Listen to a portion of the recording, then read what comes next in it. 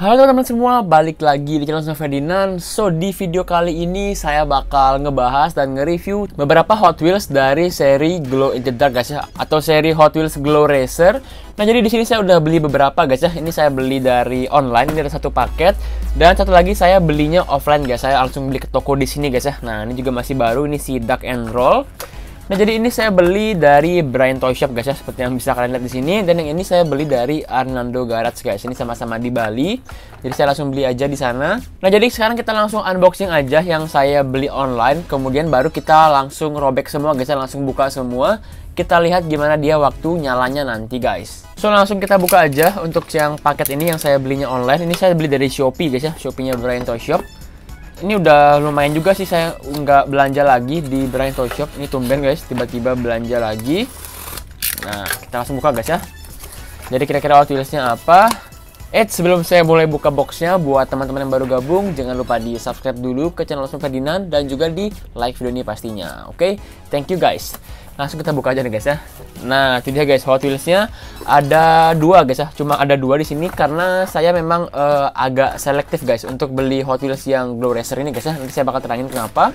Ya itu dia guys di paketnya cuma itu aja dus kosong dan juga koran guys ya sisanya Nah, jadi saya belinya cuma dua nih guys ya karena uh, stok yang ready tinggal yang ini aja dan saya carinya itu adalah yang bodinya full glow in the dark guys. Jadi seluruh bodinya tuh full bisa nyala semua. Yang yang clock and dagger ini juga sama guys ya. Apalagi yang bebek ini, ini bebek ini juga full guys dari kepalanya sampai ke bannya itu bisa nyala semua. Nah, jadi yang saya lihat sisanya itu cuma bisa nyala di bagian bannya aja guys. Jadi menurut saya pribadi agak kurang menarik sih guys ya. Nah, tapi nggak cuma ini aja. Ini kan dari seri reguleran. Saya juga punya guys. Satu lagi guys ya. Ini yang paling mungkin paling mahal atau paling langka lah guys ya. Ini dia guys. Nah, ini dari seri Hot Wheels Convention. Kita langsung buka aja.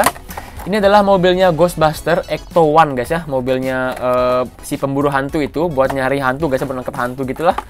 Dan ini ini yang paling keren sih guys ya. Ini meskipun bentuknya kayak gini, ini full body bisa nyala guys. Dia ini dicat dengan uh, cat spesial yang benar-benar bisa glow in the dark itu guys. Nah jadi sekarang kita langsung buka aja guys ya, yang versi reguler-reguler ini, yang seri-seri regulernya. Kita coba buka dulu dari yang ini guys ya, yang clock and dagger ini aja dulu guys, yang paling tengah ini. Saya penasaran banget karena dia ini bodinya bisa dibuka guys. Dan ini semuanya dari seri HW Glow Racer guys ya, seperti yang saya bilang tadi nih, serinya sama semua. Dan ini juga uh, keluaran di tahun 2021 guys. Pokoknya terupdate di tahun ini lah guys ya. Gak usah berlama-lama lagi, langsung kita sobekin aja si Clock and Dagger ini guys. Wow, langsung jatuh begitu saja guys si Clock and Dagger-nya guys ya. Nah, jadi seperti ini mobilnya. Dia ini uh, berwarna ungu itu guys ya. Tampo-tamponya ungu dengan ada body cap bagian atas warna clear bening. Kemudian di bagian base bawahnya dan sasis bawahnya baru dia itu glow dark kayak gini guys ya. Nah, jadi kayak gini. Sekarang kita langsung coba aja guys ya. Dan di sini juga ada panduannya bahwa dia ini bisa dibuka itu bodinya tuh guys. Nah, bisa diangkat itu guys ya. Kita coba buka aja. Ini kayaknya dari samping sih guys ya bukanya kayak gini. Nah, udah satu kebuka dan nah tuh guys, udah akhirnya kebuka guys ya. Wow, jadi ini keren sih guys ya. Bodinya bisa lepas gitu dari bagian sasis bawahnya guys. Di bawah sini sih ini kayak ada semacam kerangka tengkorak gitu mungkin guys ya. Nah, ada kayak kepalanya, ada tulang rusuknya gitu. Dan ini kayak menyerupai tangannya gitu guys di bagian samping sini guys ya. Nah, jadi kita nanti bakal langsung coba aja gimana glow in the darknya si Clock and Dagger ini guys. Kemudian lanjut lagi untuk si Hot Wheels Warp Speeder ini guys. Ini juga full body bisa nyala. Langsung kita buka aja. Satu, dua, tiga. Oke, ini dia guys. Wah, mantep banget guys ya. Kita sekarang belakangan ini jadi sering ngelus nih guys ya. Kontennya sering dobrak-dobrak Hot Wheels gitu. Ini untuk uh, bubble-bubblenya terusin aja. Nah jadi seperti ini si Hot Wheels Warp Speeder ini eh, nggak uh, ada yang bisa diapa-apain sih guys ya sepertinya. Coba kita lihat di belakangnya. Oh ya guys nggak ada guys ya.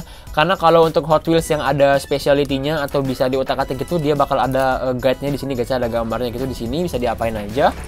Kalau yang ini nggak ada guys, dia cuma bisa full glow in the dark aja guys. Ini tamponya cakep sih guys, bagus banget dan bannya juga bagus, futuristik banget guys. Dan kalau nggak salah sama guys sama yang Clock and Dagger ini. Oh iya guys, dia velgnya sama guys ya. Yang Clock and Dagger ini dia warna ungu, yang Hot Wheels Warp Speeder ini dia warna hitam velgnya guys. Nah, jadi seperti ini guys ya perbedaannya. Berikutnya guys, ini yang ketiga adalah si Duck and Roll guys ya. Ini si bebek yang bisa nyala. Langsung kita buka aja. Oke, ini dia guys. Wow, ini mantap sih guys. Kayak ini favorit saya dari antara ketiganya. Oke, jadi ini dia si bebeknya. Oh, ini mantap sih guys ya sampai ke ban-bannya juga glow in the dark. Dan untuk si bebek ini, ini dia kalau nggak salah udah generasi ketiga guys ya. Untuk yang pertama itu dulu dia yang ini guys. Nah, ini dia yang warna basic ini guys ya. Warna awalnya tuh seperti ini, seperti rubber ducky, rubber ducky gitu guys, e, bebek karet gitu. Dia pakai warna kuning dengan ban warna merah dan juga base warna biru dan mesinnya warna orange guys benar-benar colorful banget pokoknya bagus banget guys dan sebenarnya ini ada uh, cat warna chrome-nya di bagian bintangnya ini. Cuma ini udah luntur guys, udah berapa lama juga saya koleksinya. Nah, jadi dia keluar yang ini di generasi ketiga dan generasi keduanya itu adalah yang ini guys. Nah, ini deh guys, bebeknya dia warna hijau untuk generasi keduanya. Ini ada di gantungan saya. Saya punya tiga kebetulan dan ini nggak saya keluarin guys ya karena agak susah juga keluarinnya. Dia tuh seperti ini guys ya dan baru dia keluarlah si yang glow in the dark ini guys. Jadi dia ada tiga generasi kalau nggak salah. Kalian koreksi aja guys kalau saya salah. Nah, jadi sekarang semuanya udah terlus guys ya. Dan untuk yang ini, ini eh, nggak saya lus sih guys. Ini karena udah mulai langka juga, nggak bakal saya buka juga. Nah, ini juga ada nomor serinya guys ya. Nah, nomor 1900 dari 4000 guys. Jadi dia ini cuma ada 4000 pieces di seluruh dunia guys ya untuk si Hot Wheels Ghostbuster Ecto One ini yang versi glow the dark guys ya. Nah, jadi sekarang nggak usah berlama-lama lagi, langsung aja kita coba nyalain semuanya guys ya. Jadi cara nyalainnya itu adalah kita harus di tempat gelap pastinya guys ya dan juga kita harus uh, sinarin dulu guys. Dia itu harus disinarin dulu pakai cahaya guys ya. Di sini saya juga udah siapin lampu LED. Ini juga lumayan terang guys. Nah, jadi kayak gini di disenterin dulu biar dia nyimpen energi cahayanya baru kita gelapin guys. Nah, nanti dia bakal langsung nyala guys ya. Jadi sekarang saya bakal uh, matiin dulu semua lighting di studionya. Nah, ini baru saya matiin aja udah langsung pada nyala semua nih guys ya. Wah, apalagi si Ghostbuster Ecto One ini langsung terang banget warnanya karena dia ini unik guys ya.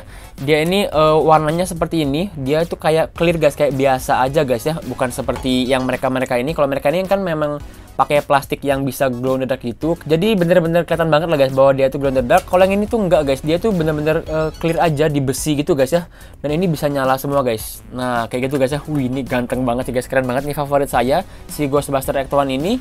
Dan berikutnya kita lihat guys si dark and roll ini guys ya. Tadi kita belum lihat dengan detail. Jadi dia seperti ini guys ya. Oh, waktu kondisi di terangnya dan saya bakal langsung matiin aja lampunya.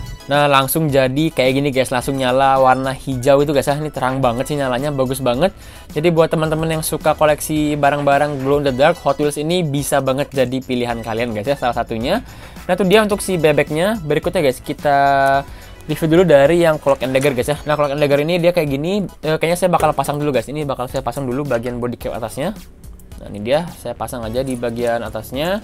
Nah ini saya kasih sinar dulu. Wow ini keren sih guys ya. E, semua tampunya tuh kayak futuristik banget. Dan juga ada tulisan glownya gitu guys. Nah jadi seperti ini saya terangin dan juga saya bakal matiin guys. Satu dua tiga Wow, ini tetap nyala sih guys, ya. terang banget nih karena uh, body capnya juga clear. Jadi dia tuh langsung tembus pandang keluar itu guys warna bodinya guys ya. Dan ini sampai ke bagian base base bawahnya juga nyala semua guys ya. Wow, ini mantep banget sih, keren banget si Clock and Dagger ini. Terlebih lagi dia juga ada specialty bisa dibuka body cap bagian atasnya guys. Nah, jadi itu dia.